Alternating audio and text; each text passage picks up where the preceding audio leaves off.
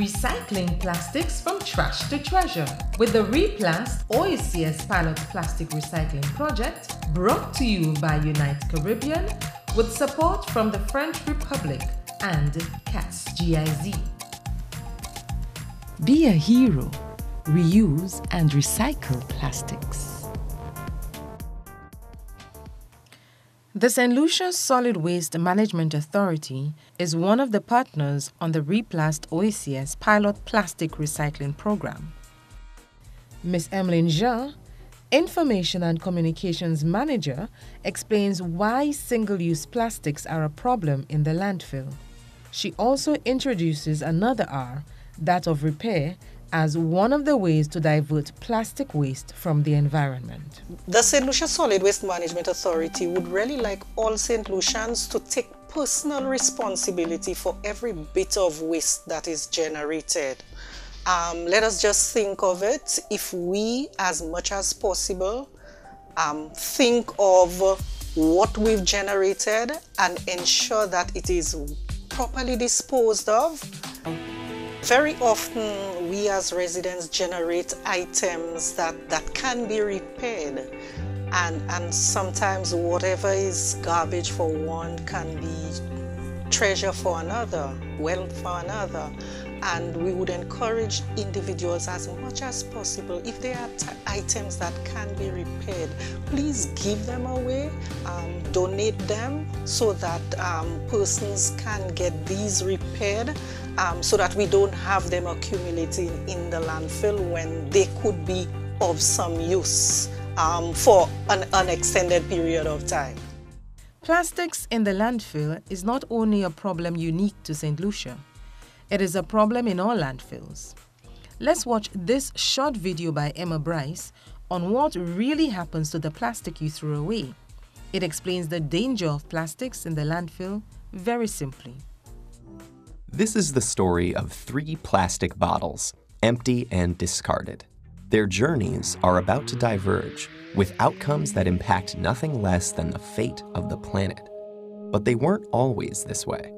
To understand where these bottles end up, we must first explore their origins. The heroes of our story were conceived in this oil refinery.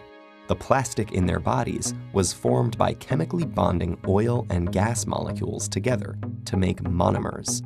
In turn, these monomers were bonded into long polymer chains to make plastic, in the form of millions of pellets. Those were melted at manufacturing plants and reformed in molds to create the resilient material that makes up the triplets' bodies. Machines filled the bottles with sweet, bubbly liquid, and they were then wrapped, shipped, bought, opened, consumed, and unceremoniously discarded. And now here they lie, poised at the edge of the unknown. Bottle 1, like hundreds of millions of tons of his plastic brethren, ends up in a landfill. This huge dump expands each day as more trash comes in and continues to take up space. As plastics sit there being compressed amongst layers of other junk, rainwater flows through the waste and absorbs the water soluble compounds it contains. And some of those are highly toxic. Together, they create a harmful stew called leachate, which can move into groundwater, soil, and streams poisoning ecosystems and harming wildlife. It can take bottle 1 an agonizing 1,000 years to decompose. Bottle 2's journey is stranger, but unfortunately no happier. He floats on a trickle that reaches a stream, a stream that flows into a river, and a river that reaches the ocean. After months lost at sea, he's slowly drawn into a massive vortex where trash accumulates, a place known as the Great Pacific Garbage Patch. Here, the ocean's currents have trapped millions of pieces of plastic debris. This is one of five plastic filled gyres in the world's seas, places where the pollutants turn the water into a cloudy plastic soup. Some animals, like seabirds, get entangled in the mess. They and others mistake the brightly colored plastic bits for food. Plastic makes them feel full when they're not, so they starve to death and pass the toxins from the plastic up the food chain. For example, it's eaten by lanternfish, The lanternfish are eaten by squid, the squid are eaten by tuna, and the tuna are eaten by us. And most plastics don't biodegrade, which means they're destined to break down into smaller and smaller pieces called microplastics, which might rotate in the sea eternally. But Bottle 3 is spared the cruel purgatories of his brothers. A truck brings him to a plant where he and his companions are squeezed flat and compressed into a block. Okay, this sounds pretty bad too, but hang in there. It gets better. The blocks are shredded into tiny pieces, which are washed and melted so they become the raw materials that can be used again.